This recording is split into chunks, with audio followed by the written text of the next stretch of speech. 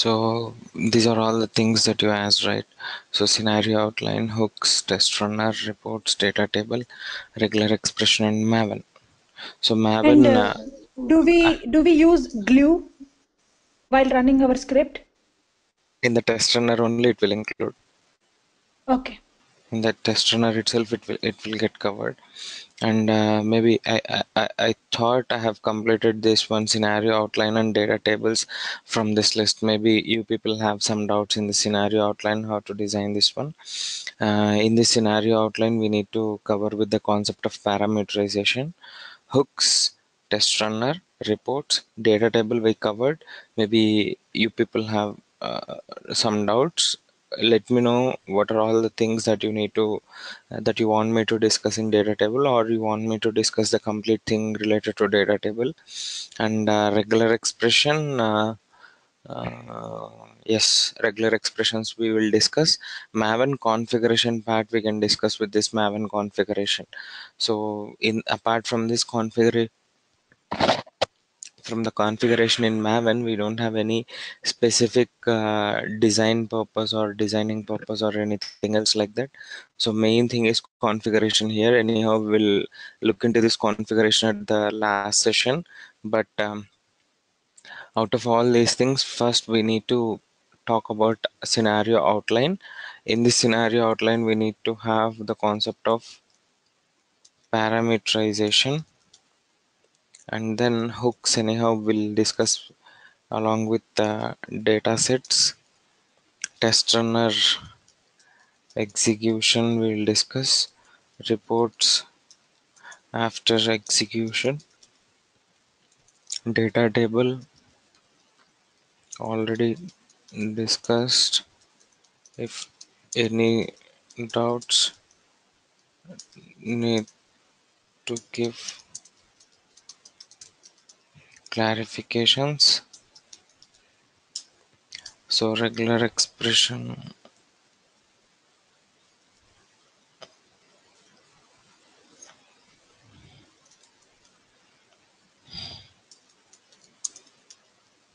Basic level while doing parameterization. Maven configuration so apart from this anything else that you want me to explain So, sir, earlier my question was uh, like you write the code, everything. You, when you have to when you have to check in the code to the repository like SVN or Git or Beanstalk, and then you commit the changes and you push it to the remote repository. So, are we not going to cover all this, or Cucumber? In Cucumber, it doesn't require. are we not cover after that Are we not covering this in our session uh, in Cucumber training, or are they generally don't use any kind of Git repository or Beanstalk or that know. repository generally that repositories we are not going to use in this cucumber configuration but deployment or continuous integration will be happened along with maven here the term we can use like maven and jenkins yeah, exactly. So from Maven, how is it going to pull the test cases into Jenkins?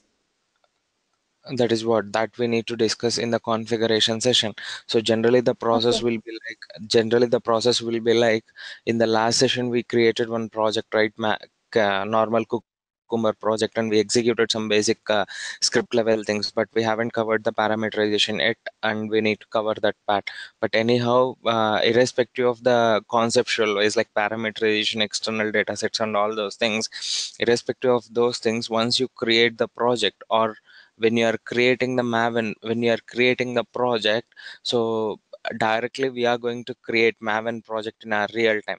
So by creating this maven project in the in this real time automatically whatever the scripts that you are designing that will be integrated with maven once everything has been done once the script designing and execution part has been completed we are going to give the same maven project name in the jenkins tool. Then when we point this maven and jenkins simultaneously the project name what you have been created in the eclipse the maven project name what you have been created in the eclipse that will be fetched automatically into the jenkins. If both names are matched then jenkins is going to integrate or deploy the complete set of scripts what you have been designed and that will deploy in the server but server deployment we are not going to talk about that server deployment but how to build and how to have this continuous integration part uh, along with maven. So we are going to check with this in Jen- jenkins continuous integration tool. If both are getting my point harshita? Yes, yes.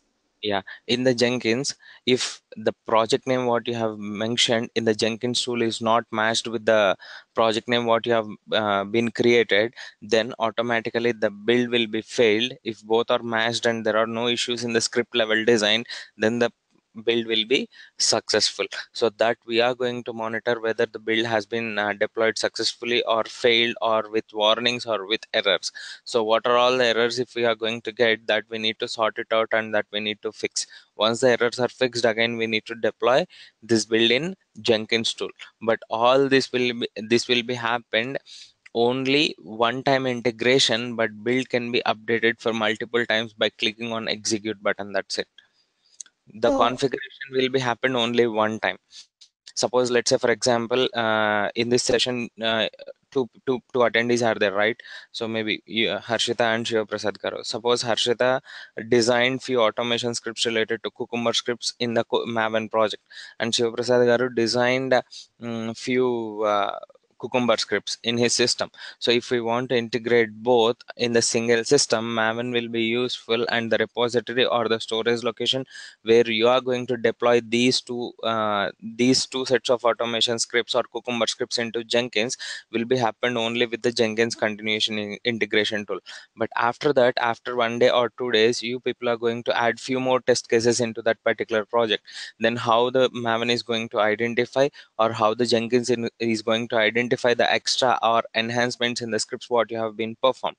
At that time already you have done with the configuration part of maven and jenkins. Now you are adding few more automation scripts or cucumber scripts into your project. Once you added those things automatically when you click on execute button in the jenkins automatically the updated scripts or enhancements or new scripts what you have been added to that project will be deployed into that particular folder so uh, this this is all about the configuration that we need to do only once for a project but we can reuse the build upgradation process or integration process for a number of times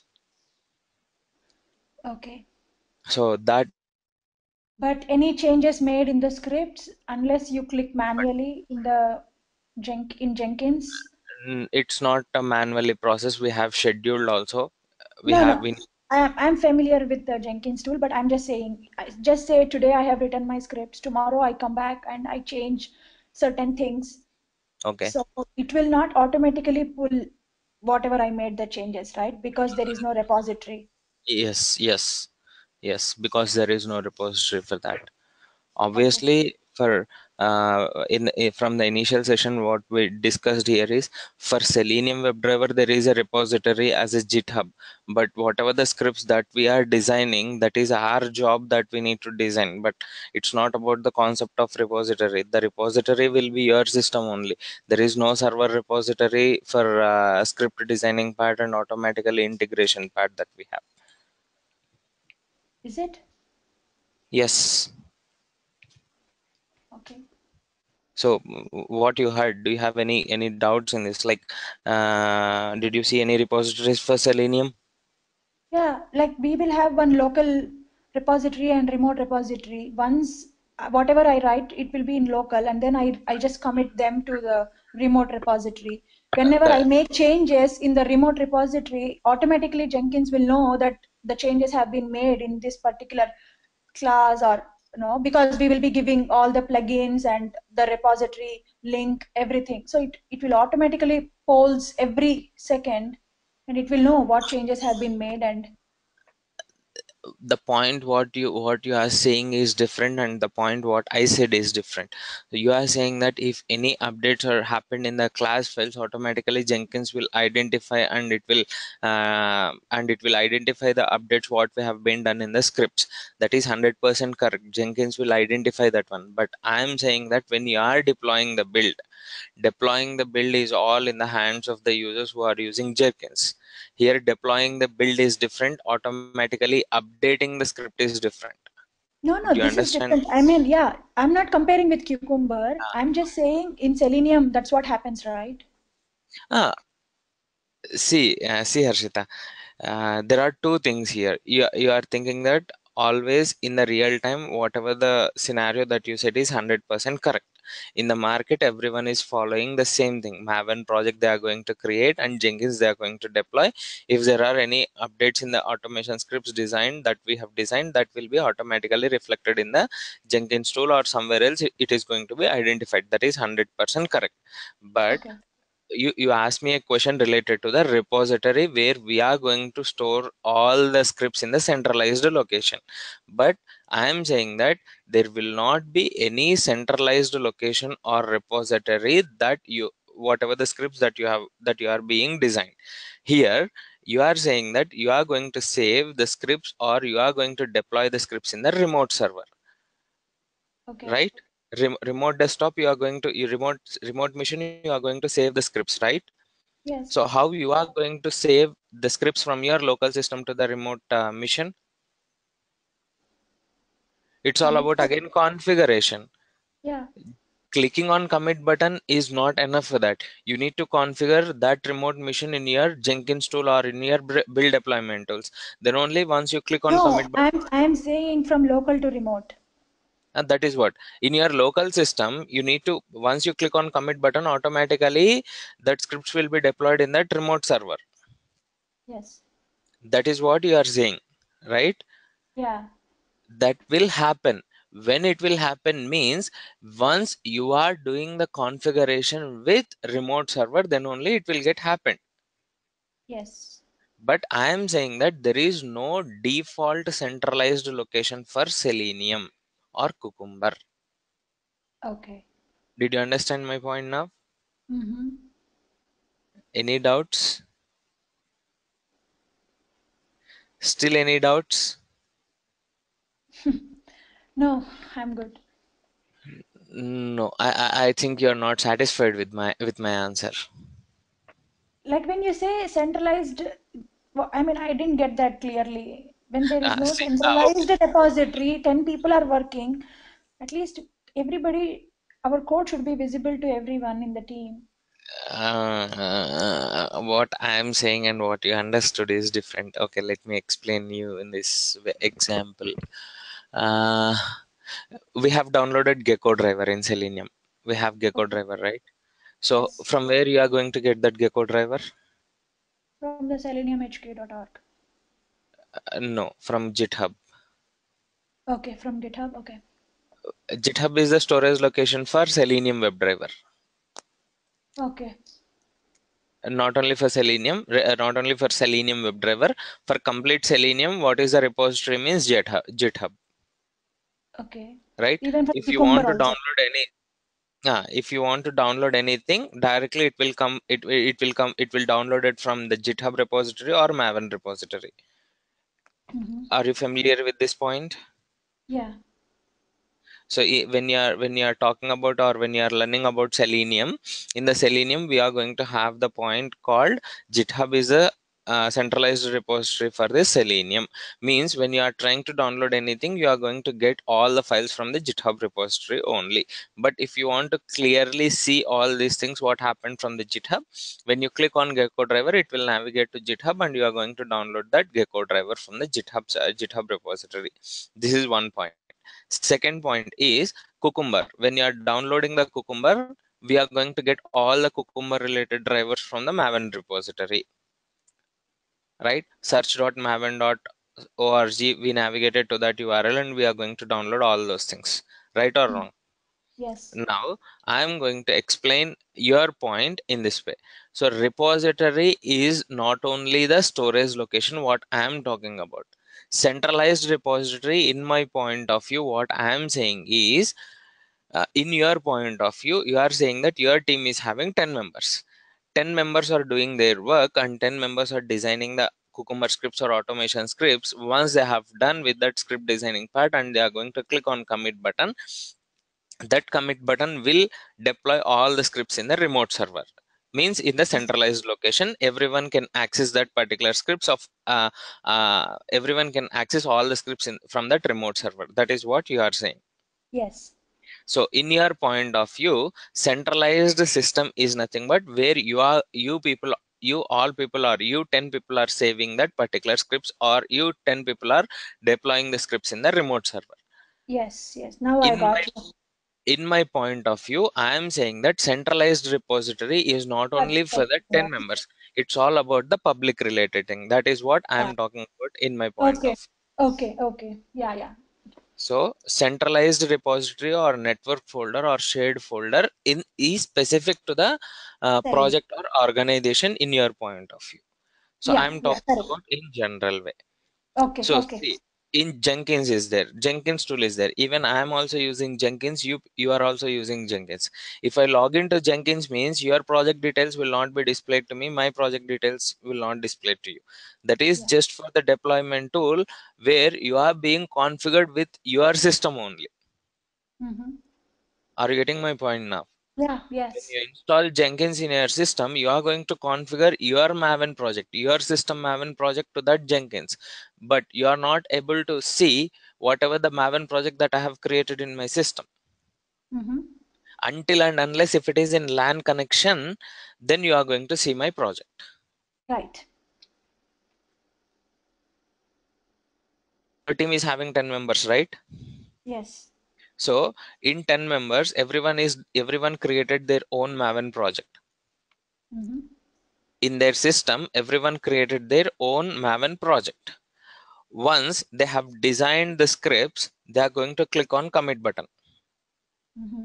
once they click on commit button automatically the scripts will be deployed into the server or integrated into the server by using this jenkins integration tool. Right or wrong Yes. right right so how are you going to create 10 projects in the jenkins No. only one project will be there in the jenkins which will be connected to your 10 systems Mm-hmm. if if one system is going to add into your team like 11th mission is going to add into your team then what will happen again we need to connect that particular 11th mission to your jenkins Yes. Yes. 10 members are there you all people has been connected to jenkins integration tool once you click on commit button that all the 10 people design scripts will be deployed into the remote server this is what happened in your environment if Mm-hmm. one person is going to add to your team then that system has to connect to jenkins or not It should. it should connect in that case everyone will have only one project where it is pointing to the common project in the jenkins Mm-hmm. that is what i am saying so Okay. here jenkins will have only one project that will be visible to your team and where you are going to deploy or where you are going to commit all the scripts into a single unit and you are going to deploy that in remote server which will happen only with the integration tools not only with jenkins we have so many integration tools but current uh, market is using jenkins integration tool for their integration purpose Okay. Because it's an open source or uh, it's an open source yes okay. it's an open source understand any questions No, Yeah. no. Here the reports concept will be discussed along with maven. So when we are creating maven project it will be very clear for you when we are going to discuss about the reports based on the maven dependencies what we are going to create in this maven. What we are going to create in this maven. And apart from that any any specific questions in data tables or do you want me to repeat the, repeat the concept complete concept I don't Prasad. even remember, sir, data table. Like what exactly it is. I don't know if I missed that class or what harshita Just give a give a give a overview of data table at least. like uh, Oh, Shiva, when I okay. uh, discussed about the data table, uh, so we faced some issues like uh, it's not able to iterate the second one. Ah, okay, fine. second. Yeah. Okay, okay, okay. That that we will discuss. Fine. Yeah, the data table concept, Harshita, we discussed about uh, this concept passing the data from the feature file. Uh, only one data we passed, and second data when we are trying to pass from the Excel Excel file, we are uh, sorry in from the feature file we are uh, getting issues. So that is Yeah. what we need to discuss. That is nothing but the Oh. concept of data table. I was uh, okay. Okay, now I'm clear. Okay, I I was So getting that. This data table and scenario outline concept has been linked at that time. Scenario outline is nothing but we created one scenario. In that scenario we have uh, created one one set of data and we pass that set of data to that particular automation script and we executed that one. When we are trying to pass the second set of record through this table it is unable to execute and we got some issues over there and we need to mm, we need to clear that one. Okay need to discuss about multiple set of records that needs to be passed to the automation script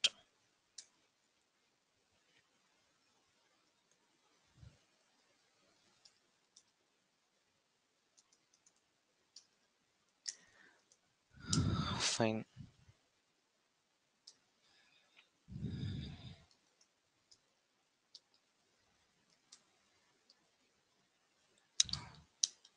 so any other things guys? So you can you also add some interview questions to that list? okay. Okay i'll add.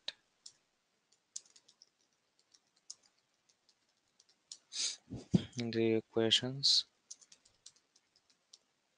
Important comments so means what are all the standards that we need to follow? So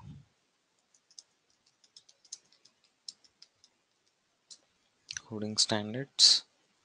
We'll discuss interview questions at last. Hooks. And one more thing here we can discuss about tags or Okay. Test run. And uh, and one more thing is like, uh, are we following any uh, folder structure like a framework? Uh, So Cucumber is a de- uh, predefined framework, right? So are we going to uh, design any uh, framework like hybrid or something using this?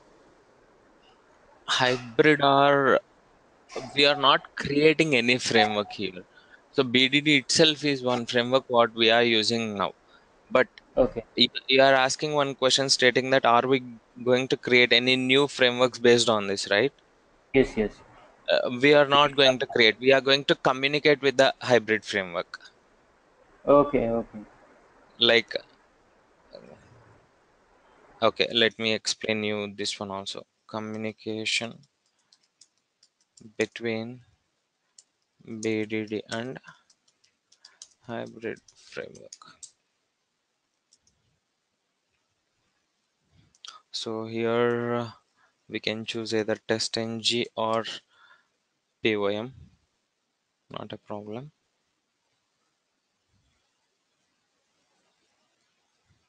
so any other questions guys so here uh, BDD. BDD is famous with JUnit, right? Than TestNG. bdd Yeah, bdd is the Cucumber tool. Basically, I, I saw people writing in JUnit. JUnit is hybrid framework. It's not BDD. No, no, J, I'm saying uh, instead of instead of TestNG, I saw people. I mean, online when I see their scripts, they are Oh. using JUnit framework. Mm, mm, mm, mm, mm, mm. Okay, okay, I understood your point. Here, the JUnit is a framework which is related to the development environment, and n unit is also the same thing. But j unit and n unit is having the drawback of execution controlling. So, how to control the execution of the script uh, they don't have any specific uh, uh, criteria to execute the script. When we are talking about junit and nunit uh, if you browse in google even you are going to get the information like junit and nunit are developer related frameworks. Testng is related to testers as well as developer related frameworks. Why we have this comment means junit is the framework which is completely supportive to the development team so here when we are talking about development team they are not going to concentrate how the script execution is going to be happen how the program is going to be happen but they always used to concentrate is the program executed successfully or not? But when we are talking about test testng in the test testng the execution control so the how the execution should happen in the particular script. Suppose your script is having 2000 lines of code so you don't know how the script is going to be executed in that particular 2000 lines of code. There may be a random way or there may be a sequence order. There may be a um, set of statements order. We don't know. But if you want to control execution like step by step or first statement second statement third statement like that you can use testng framework. If you are going to use test uh, junit or nunit you can execute the script. But there will be a random order. There may be a random order. There may not be a random order there may be a sequence order even. So we are not sure about that. Because of that reason junit and nunit are supportive development development environment. And coming to test testng it supportive to developers as well as testers related environment. We can have that one. Junit test cucumber with junit cucumber with test testng we can execute that one also. Maybe uh, when we are talking about the concept of uh, regular expressions we will have the concept of annotations from the test testng I think you, you know about the concept of annotations in testng at the rate test, at the rate before, at the rate after, right? I know. Yeah, basing on based on that particular annotations, we are going to have the concept and uh, we are going to categorize. So if you want me to explain JUnit, I'll go with JUnit. If you want me to explain testng, any framework is fine for me. But all frameworks means it, it it's completely time taken process again So what do you prefer, Shiva? It's uh. I, I prefer testng because it's all uh, as i said generating the reports and uh, um, report generation process uh, as well as configuration as well as interview point of view as well as tester point of view as well as automation developer point of view testng we can go with testng framework why because uh, in future also we can use the same framework when we are developing the automation script but in our real time we may or may not work with junit because as i said it is completely development uh, supportive environment No, sir, I was asking uh, the other Shiva. oh shiva prasad garu Yeah, it's up to him. Anything is fine for me. okay Hello. Yeah shiva prasad garu Uh, what? testng is fine, so testng is okay. fine, as you said. Hmm. anyhow I, i'll dis- I'll, I'll discuss about the junit also in brief way. I'll explain you what is the process related to that. But if you have any questions meanwhile just we will discuss about 5 to 10 minutes about junit nothing more than that. But we'll concentrate more on uh, testng framework testng along with this cucumber. So what is the communication happened in between these two things? So anyhow we are talking about cucumber right? We'll discuss the communication between this cucumber as uh, cucumber and hybrid framework which is nothing but testng how it is going to be happened, how the script execution is going to be completed. Maybe uh, i'll take uh, two more sessions for you like saturday and uh, sorry thursday and friday.